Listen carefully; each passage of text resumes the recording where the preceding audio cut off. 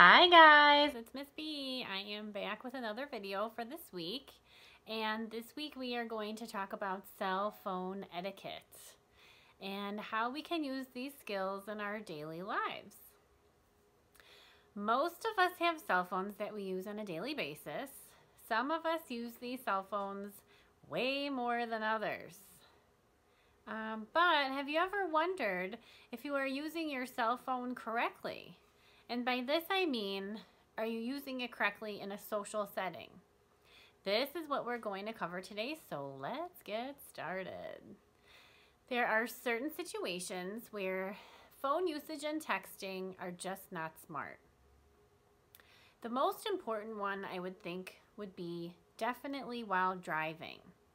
If you know an important call or text has come through while you're driving, pull over before you even pick up your phone.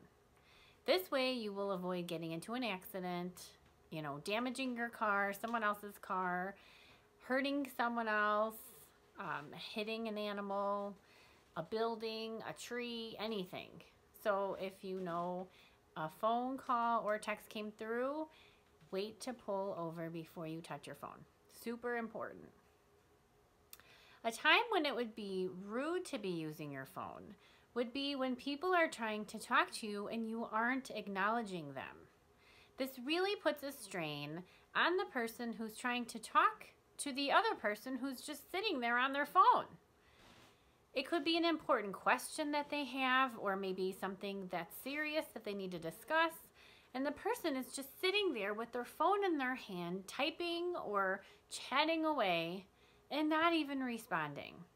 So, not only is this rude, it's also really annoying and it's really irritating. So be sure to turn the phone off if someone is trying to have a conversation with you. Another important topic to cover would be personal and private information on your phone. It would be not a good idea to text your personal and private information or someone else's personal or private information. And the reason for this is because these messages could accidentally or purposefully be sent to someone else that you may have not wanted to know this information. Also, your phone could get lost, stolen, left behind somewhere, and now the messages that were so personal and private could be shared with the world. So definitely think twice before sending any messages with personal stuff in it. When you are on your phone talking to someone, please speak in a normal voice. There's really no need to scream or talk really loudly while you're on your phone. The person on the other end can hear you just fine when you're speaking in a normal tone. You can use your inside voice, it's totally fine. The person on the other end will appreciate you using your inside voice instead of screaming so loudly in their ear like you're at a hockey game. Just keep it at a normal sound. We're good. When you are on your phone talking to someone and you are in public, keep your distance if you are using your phone. No one wants to hear about your brother's new girlfriend or how your mom was sick last night or how your sister has a migraine. This is just information that is not necessary for the whole world to know. This is something that is just so obnoxious and I know I'm not alone in this feeling. So if you have to take a call in public, try to find a, a private, quiet place to be chatting so you're not out in the open with a million people listening to your conversation. Also, when you're in public, keep your distance if you're using your phone. No one, you know, needs to be seeing you, um, you know, hand gestures and loud voices and things like that. And when you're in public, don't use your speakerphone. Just don't use it. Turn the speaker off. The whole world doesn't need to hear your conversation. It's disruptive, it's inappropriate. Turn that speaker off. Another thing to remember is when you're on the phone in public, avoid those personal and sensitive subjects. This would be things like your personal health information, gossip about friends or family, talking about work related information, just not appropriate. So, really try to acknowledge this in public. Now, we're going to switch gears a little bit and talk about cell phone use in the workplace. When you are at work, be sure to keep your phone in your pocket, locker, purse, backpack, somewhere that it will not be in your sight. Just get it away from you. Then you can give your full attention to your job instead of listening to your phone go off in your pocket, you know, all the time.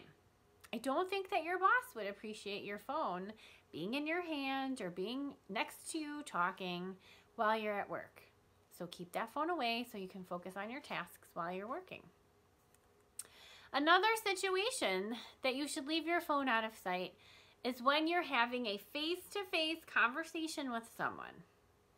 There's nothing more rude than to try to have a conversation with someone and all you see is them going like this on their phone or you know trying to have a conversation or checking a voicemail or something. It's just so rude. You can leave your phone in your pocket in your purse wherever you would normally leave it. Um, if you're texting and talking while you know in, in calling someone while you're trying to have a conversation it's rude. You know just put that phone away. It's just so much nicer and this person will appreciate it so much if you can give them your full attention. One of the times that I just find it so rude when people are on their phones is when I'm sharing a meal with them, whether it's at my house, their house, in a restaurant, wherever. When people are using their phone at the table, it is so rude. Uh, it's like you're only half listening to what that person is saying while they're talking because they're too busy sending a picture on Snapchat or answering a text. It's just extremely rude and annoying. Keep your phone away from you, get it out of your sight, and give that person that you're sharing a meal with your full attention. And you might actually enjoy the conversation that you'll have with this person instead of being on your phone the whole time. Give it a chance. Um, as a general rule, there are a few places where keeping your phone on silent would be best. Obviously, for us, the first one is school.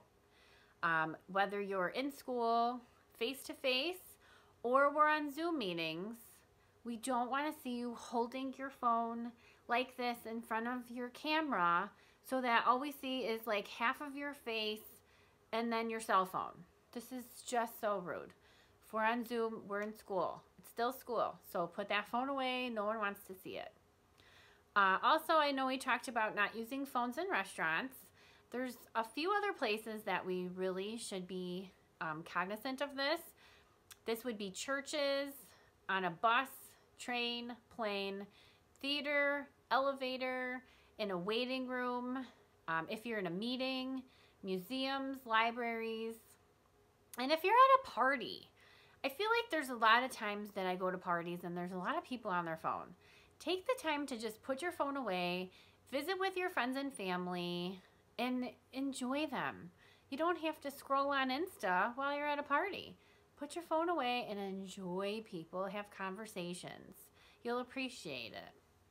One last topic I would like to cover quickly would be the use of earbuds and headphones. If you are going to use these items, please make sure you have them at a lower setting, especially in a public place. Uh, it can be difficult for someone to try to have a conversation with you if your earbuds are on in your ear, your headphones are on and they're on really loudly, and someone's trying to get your attention and they just can't because you can't hear them. And it can also be really dangerous because if you're in a public place and let's just say you're crossing the street and your your earbuds or your headphones are on, they're on really loud. You can't hear cars. There could be a car coming at you, you wouldn't even know. You know, so just make sure that you have those on a lower setting in a public place and definitely not appropriate in all of those places where you shouldn't even, you know, have your phone out in the first place. So that's it for today. I hope you all learned something about cell phone etiquette, and I hope that you will put into practice some of these scenarios that we went over. And also, take notice if people that you're having a conversation with are using their phone or iPad or, you know, whatever, um, let them know if you want them to, you know, put their phone away. You can ask them really nicely, explain to them how you would appreciate it if you could have their full attention while you guys are talking, and I'm sure that they will be more than happy to do so. So I hope you guys enjoyed this video. Don't forget to like and subscribe so that you always know when the latest content is out. If you have any suggestions for future videos, please let me know. Hope you all have a fantastic week. Bye!